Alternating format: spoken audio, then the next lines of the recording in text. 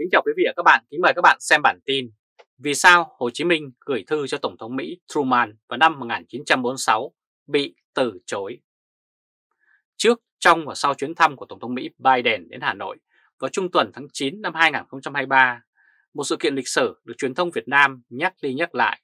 Đó là việc ông Hồ Chí Minh vào tháng 2 năm 1946 đã gửi một bức thư với Tổng thống Mỹ Truman mong muốn thiết lập quan hệ ngoại giao với Hoa Kỳ sự kiện này được khai thác với mục đích giải thích cho dân chúng vì lý do vì sao Việt Nam Hoa Kỳ từng là kẻ thù trước đây, nay lại trở thành đồng minh chiến lược. Họ cho rằng đó cũng là thể theo mong muốn của ông Hồ Chí Minh. Trong cuộc trao đổi báo chí ngày 8 tháng 9 trước chuyến thăm Việt Nam của Tổng thống Mỹ Biden, Thứ trưởng Bộ Ngoại giao Việt Nam ông Hà Kim Ngọc nhấn mạnh chuyến thăm của Tổng thống Mỹ thể hiện và hiện thực hóa mong muốn của ông Hồ Chí Minh nêu trong bức thư gửi Tổng thống Mỹ Truman vào tháng 2 năm 1946 với hy vọng Việt Nam có quan hệ hợp tác đầy đủ với Mỹ. Thủ tướng Việt Nam ông Phạm Minh Chính đến thủ đô nước Mỹ thăm đại học. Hay mới đây vào ngày 19 tháng 9, Thủ tướng Việt Nam Phạm Minh Chính tới và phát biểu tại trường đại học tại Mỹ. Ở đây, ông Phạm Minh Chính nói Điều này cho thấy tinh thần hiện thực hóa tư tưởng của ông Chủ tịch Hồ Chí Minh trong thư gửi Tổng thống Mỹ Truman vào ngày 16 tháng 2 năm 1946 đã bày tỏ mong muốn thiết lập quan hệ đầy đủ với Mỹ. Một sự kiện lịch sử đã đóng băng trong quá khứ, thậm chí bị Đảng Cộng sản Việt Nam che giấu trong nhiều năm, bây giờ lại được giới lãnh đạo và giới chức Hà Nội tích cực lôi ra phổi bụi đánh bóng, với mục đích chấn an cho giới cách mạng lão thành và các cựu chính binh Việt Nam luôn có thái độ không thân thiện với người Mỹ. Một nửa chiếc bánh mì vẫn là bánh mì, xong một nửa sự thật không phải là sự thật. Chuyện ông Hồ Chí Minh viết thư Tổng thống Mỹ Truman nhưng không được người Mỹ hồi đáp, chính là một câu chuyện như vậy. Sự thực câu chuyện này như thế nào? Căn cứ vào các dữ liệu lịch sử cho biết Mặt trận Việt Minh là tổ chức do Đảng Cộng sản Đông Dương thành lập vào năm 1941 và Việt Minh từng có sự hợp tác với cơ quan tình báo Mỹ OSS. Vào tháng 3 năm 1945, ông Hồ Chí Minh gặp tướng Chandenau tại Côn Minh, Trung Quốc. Ông Hồ Chí Minh khi đó đã nhận thấy người Mỹ muốn sử dụng các tổ chức của người Việt để tham gia chống Nhật. Lập tức Hồ Chí Minh thiết lập mối quan hệ với tình báo Mỹ trong việc giải cứu các phi công Mỹ và cung cấp các tin tức tình báo cho OSS. Đổi lại, OSS cung cấp vũ khí, phương tiện liên lạc, giúp đỡ y tế, cố vấn và huấn luyện quân đội ở mức quy mô nhỏ cho Việt Minh. Ông Hồ Chí Minh và ông Võ Nguyên Giáp với nhóm tình báo chiến lược Con Nai của OSS vào năm 1945. Vào ngày 16 tháng 7 năm 1945, nhóm Con Nai thuộc cơ quan tình báo Mỹ OSS đã nhảy dù xuống Tuyên Quang Tại đây, nhóm còn lại đã huấn luyện cho lực lượng Việt Minh khoảng 200 người về cách thức sử dụng những vũ khí Mỹ và chiến thuật đánh du kích. Vào ngày 2 tháng 9 năm 1945, nhóm còn lại đã cùng Việt Minh về Hà Nội dự lễ thành lập nước Việt Nam Dân Chủ Cộng Hòa. Trong giai đoạn 1941 đến năm 1946, ông Hồ Chí Minh cố gắng thuyết phục để người Mỹ tin rằng ông không phải là Cộng sản, mà chỉ là một người theo chủ nghĩa quốc gia Thông qua cơ quan tình báo Mỹ OSS vào tháng 2 năm 1946, ông Hồ Chí Minh đã gửi một bức thư cho Tổng thống Mỹ Truman đề nghị Mỹ thiết lập quan hệ ngoại giao với Việt Nam. Sau lúc đó, người Mỹ vẫn xem Hồ Chí Minh là gián điệp của quốc tế cộng sản, là bù nhìn của Moscow, vì Hồ Chí Minh đã từng ở Moscow trong nhiều năm. Tài liệu của CIA lúc đó khẳng định Đảng Cộng sản Đông Dương tuy tuyên bố giải tán vào năm 1945, nhưng đến năm 1946 họ vẫn có tới 50.000 đảng viên và tới năm 1950 con số đó lên tới 400.000 đảng viên. Đó chính là lý do vì sao người Mỹ không hồi đáp bức thư của Hồ Chí Minh gửi Tổng thống Truman. Đến cuối tháng 9 năm 1946, chính phủ Mỹ quyết định rút tất cả các nhân viên tình báo tại Việt Nam về nước, chấm dứt liên hệ với chính phủ Việt Nam và ông Hồ Chí Minh. Với lý do rất rõ ràng Hồ Chí Minh là Cộng sản.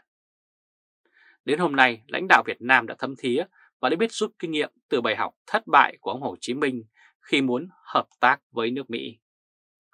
Trong chuyến thăm của Tổng thống Mỹ Biden, việc giới chức lãnh đạo cấp cao của Việt Nam có động thái lặp lại đề nghị Hoa Kỳ công nhận Việt Nam có nền kinh tế thị trường là một cách mà Cộng sản Việt Nam gián tiếp thừa nhận họ đã từ bỏ chủ nghĩa cộng sản do Hồ Chí Minh du nhập vào Việt Nam để đi theo chủ nghĩa tư bản. Tổng thống Biden và Tổng bí thư Nguyễn Phú Trọng trong một sự kiện vào ngày 10 tháng 9 ở Hà Nội. Để dễ hiểu hơn, kiến trúc sư Dương Quốc Chính, một người đang sống ở Hà Nội, viết trên trang Facebook cá nhân rằng Bác Nguyễn Tất Thành vô duyên với nước Mỹ không phải từ năm 46 đâu, mà từ năm 1912. Lúc bác lên tàu làm bồi bàn thì sang New York đầu tiên, kể bên đó cả năm, sang cả bang Massachusetts, rồi bác quay về Anh rồi sang Pháp. Ở đây bác đọc được luận cương của Lenin, thấy mặt trời chân lý trói qua tim và thành người cộng sản. Đó là lý do khiến Tổng thống Mỹ Truman sau này cự tuyệt các bức thư cầu viện của bác. Và năm 46 vì bác là cộng sản. Hậu quả là lòng ngoằng mất mấy chục năm cho tới hôm qua. Thế là đầu tiên bác bỏ thầy Mỹ, rồi bỏ thầy Anh, xong bỏ thầy Pháp, cuối cùng là theo học thầy Liên Xô và thầy Tàu. Hậu quả sao thì không phải nhắc. Bài học rút ra cho anh em là xác định đi du học thì học đến nơi đến chốn, học giờ chừng lại bỏ, đứng núi này trông núi nọ là trả giá rất nặng. Quý vị và các bạn vừa theo dõi chương trình truyền hình trực tiếp của Thời báo .d với bản tin Vì sao Hồ Chí Minh gửi thư cho Tổng thống Mỹ Truman vào tháng 2 năm 1946 bị từ chối. Quý vị và các bạn hãy chia sẻ video này cho nhiều người biết và bấm nút theo dõi YouTube và Facebook của Thời báo .de để luôn được cập nhật những bản tin mới nhất, nhanh nhất và trung thực nhất. Từ Berlin, Cộng hòa Liên bang Đức chào các bạn và hẹn gặp lại các bạn ở bản tin lần tới. Trung Khoa Thời báo .de Kính chào quý vị và các bạn, kính mời các bạn xem bản tin Cấm để xe máy tầng 1 của chung cư và tư duy không quản được thì cấm của lãnh đạo Việt Nam.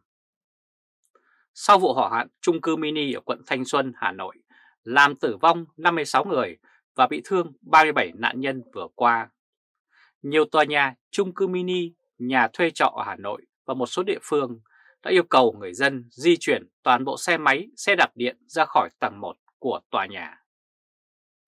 Có vẻ như chính quyền quận Thanh Xuân Hà Nội đang bối rối với việc làm thế nào để ngăn ngừa các đám cháy tiếp theo có thể xảy ra. Tại hội nghị giao ban của Thành ủy với các quận huyện chiều ngày 21 tháng 9, Chủ tịch Ủy ban Nhân dân quận Thanh Xuân Võ Đăng Dũng cho biết, quận yêu cầu người dân trên địa bàn quận phải di rời xe máy, xe đạp điện ở tầng 1 chung cư mini và nhà trọ nhiều căn hộ sang nơi khác. Ông Võ Đăng Dũng cho biết, không di chuyển toàn bộ thì nếu di chuyển toàn bộ thì tốt, không thì phải được 70-80% và lý giải thống kê cho thấy 90% vụ cháy xảy ra ở tầng 1 do chập điện, chập điện ắc quy và xe máy. Đại biểu Quốc hội đề xuất không để xe máy ở hầm chung cư. Nhưng việc người dân sẽ di chuyển phương tiện đi đâu thì không thấy ông Dũng đề cập đến. Điều đó khiến cho nhiều người dân than phiền quy định này sẽ làm cho cuộc sống của họ gặp rất nhiều khó khăn, đảo lộn. Đặc biệt, người dân phải tốn kém chi phí để gửi xe bên ngoài, thậm chí chưa biết sẽ gửi ở đâu. Tờ báo Tuổi Trẻ cho biết bình luận về phát biểu này của ông Chủ tịch quận Thanh Xuân, hầu hết các độc giả đều phản đối. Họ đặt câu hỏi, thế thì đem xe máy, xe điện đi gửi ở đâu nếu không cho để ở dưới tầng hầm hay tầng 1 của tòa nhỏ nhà họ thuê thuê trọ. Độc giả Nông Văn Tuấn thì trách cứ, một suy nghĩ cá tiêu cực và bế tắc, không tìm được giải pháp là cấm, việc dễ mình làm việc khó dân chịu. Độc giả Hải thì gay gắt, trước tới giờ sao không chỉ đạo, cứ để mất bò mới lo làm chuồng. Một đại biểu quốc hội mới nhất cũng đưa ra đề xuất tương tự, không để xe hầm chung cư. Theo tờ báo Tuổi Trẻ 3 tháng 9, trước thực trạng nhiều vụ cháy nghiêm trọng xảy ra tại các khu chung cư thời gian qua, đại biểu Quốc hội Nguyễn Ngọc Phương Quảng Bình đề xuất Quốc hội thêm vào luật quy định không cho để xe trong tầng hầm, chung cư, khách sạn.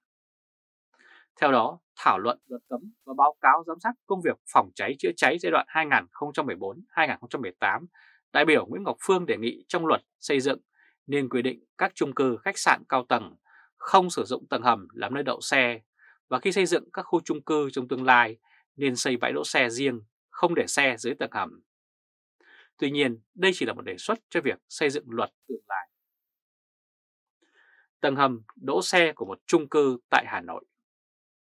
Công luận thấy rằng cũng cần thông cảm cho các yêu cầu từ chủ các khu nhà trọ, chung cư mini về việc cấm người thuê nhà đem xe máy điện, xe đạp điện để dưới tầng hầm hay tầng 1. Vì ở góc độ là người kinh doanh, họ muốn tìm cách đảm bảo an toàn và bảo vệ tài sản. Nhưng đề xuất của Chủ tịch quận Thanh Xuân, đại diện của cơ quan quản lý nhà nước, lại là đề xuất vô trách nhiệm và bất khả thi. Vấn đề là cấm thì sẽ đem xe máy, xe đạp điện đi ở đâu, gửi đây nếu không cho để dưới tầng hầm hay tầng 1 của tòa nhà mà người dân đã thuê trọ. Trước phản đối của dư luận để chữa cháy trưa ngày 22 tháng 9, tờ báo Việt Nam Express dẫn lời bà Bùi Huyền Mai, bí thư quận Thanh Xuân cho rằng phát biểu của Chủ tịch quận Thanh Xuân có thể chưa được nói rõ và đó không phải là chủ trương của quận. Bà Mai trả lời báo chí rằng hiện quận chỉ vận động người dân chứ không cưỡng chế hay buộc người dân phải di rời xe máy, xe đạp điện ra khỏi nơi họ sống. Dư luận thấy rằng nếu có bắt buộc đi chăng nữa thì quận Thanh Xuân cũng không thể cưỡng chế. Về trên thực tế, làm gì có địa điểm nhận gửi xe riêng qua đêm bên cạnh các chung cư bình dân hay mini. Trong khi với hệ thống giao thông công cộng như Việt Nam hiện nay thì không thể cấm người dân sử dụng xe máy được. Đại biểu Quốc hội Nguyễn Ngọc Phương, đoàn Quảng Bình Tại sao chính quyền Việt Nam không sử dụng biện pháp kiểm tra, kiểm soát thường xuyên và áp dụng triệt để các quy định về phòng cháy, chữa cháy, tuyệt đối không nhân nhượng, không đủ điều kiện thì dứt khoát không cấp giấy phép kinh doanh.